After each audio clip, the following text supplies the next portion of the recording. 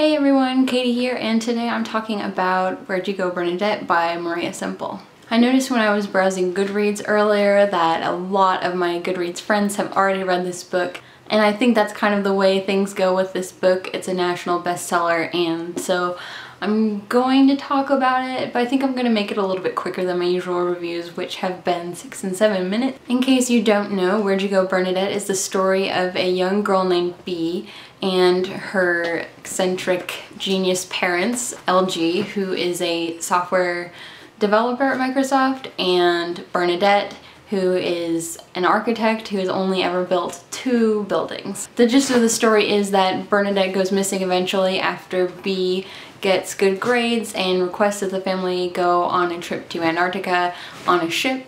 Bernadette is agoraphobic and she's clearly got a lot of issues, you know, everything she does, she does through her virtual assistant online and she avoids interactions at all costs. The story is surprisingly about what happens leading up to Bernadette's escape slash point where she runs away. I'm eloquent. Now, as I said, I was on Goodreads earlier and I just wanted to kind of take a peek and see what people said about this book and I can tell from that that this is the kind of book that you either love or you hate. Now, I loved it.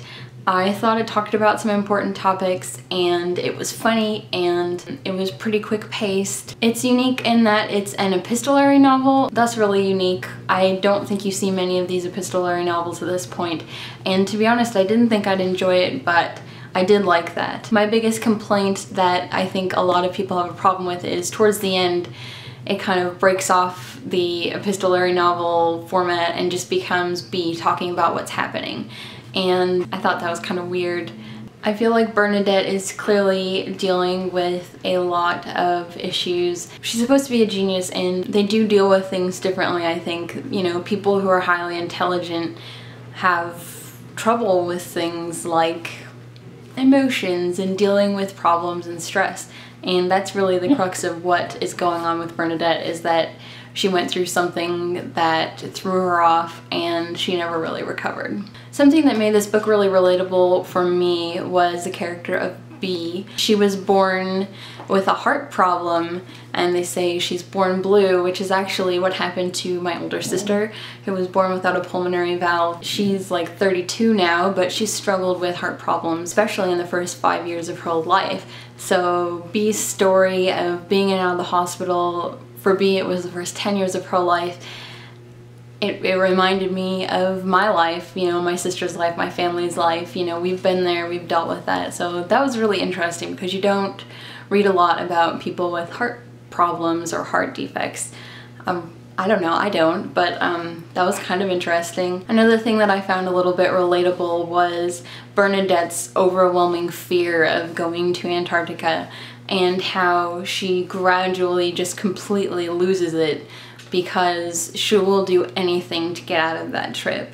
I could see in her letters and her emails that as each page turned, she was just unraveling a little bit more. I don't think this book is perfect. Certainly there is a lot of treating Bernadette like she's crazy and trying to fix her when, you know, really she needs to fix herself. It seems like most of the female characters in the book have some sort of issue that makes them crazy women. The story's pretty good, but it ends really abruptly. That really bothered me. I didn't feel very satisfied by the ending, but I guess that's how books go. I mean, you don't always get what you want.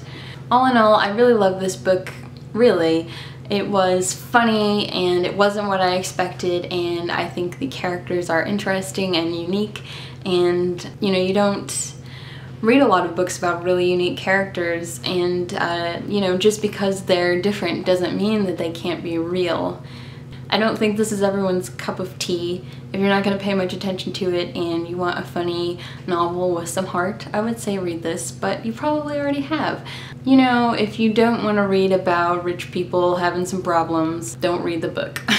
Since I know a lot of my Goodreads friends who are also booktubers or um, people who watch booktube, go ahead and let me know in the comments what you thought about this book and about maybe the characters or the story, about the abrupt ending. I would really love to talk about it. I think that's all I have to say about this book. I will see you later. Bye.